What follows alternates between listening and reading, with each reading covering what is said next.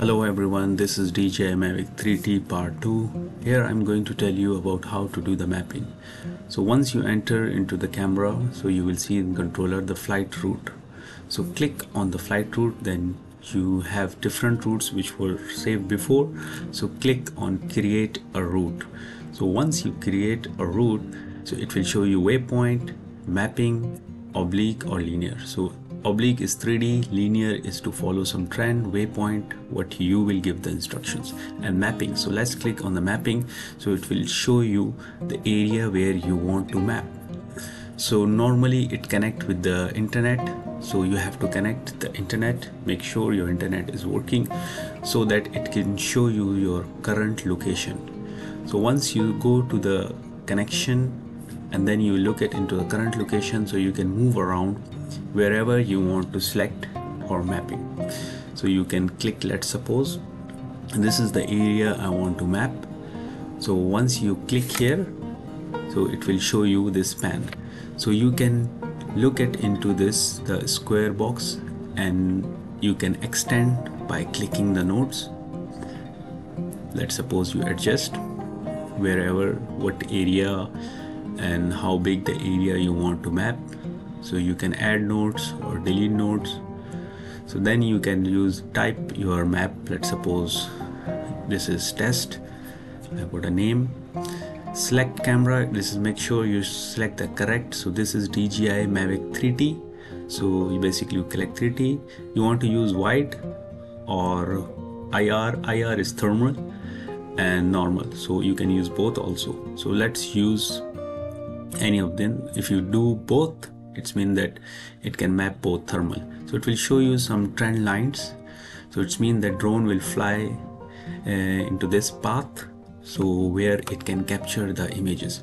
So you can see the setting safe takeoff so let's suppose speed or height terrain follow. This is important. If you have a irregular terrain so you have to do that. So you click on terrain follows so it will follow the terrain and then you click on DSM follow.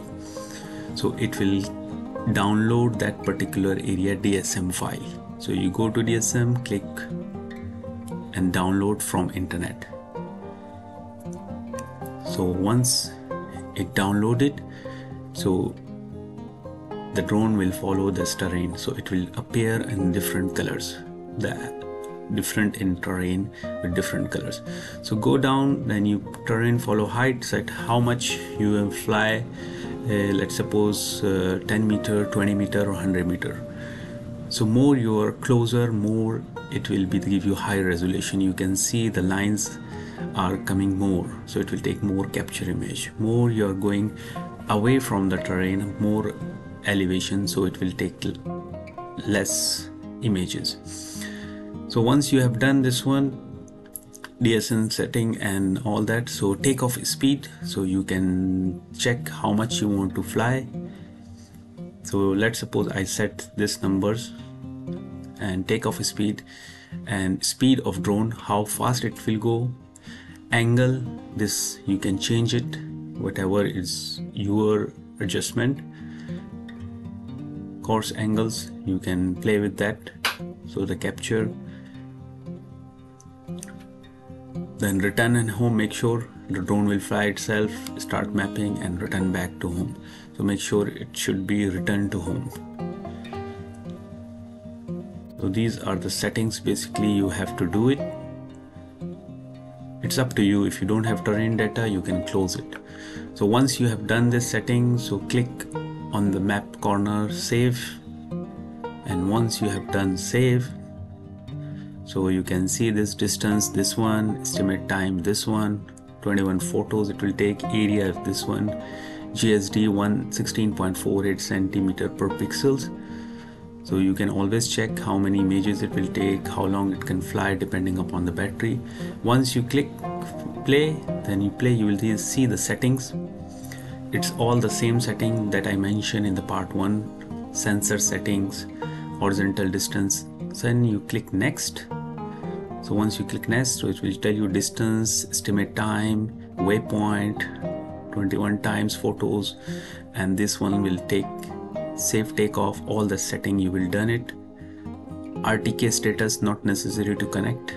If you have RTK you can connect.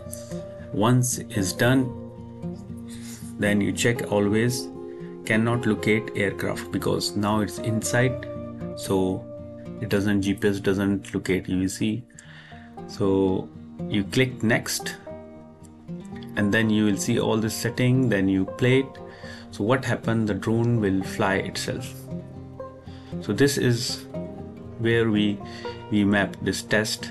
So you can use this one when you go to the field. You can just click here and then you fly your drone. So that's all about the mapping setting. Thank you very much. Thank you for watching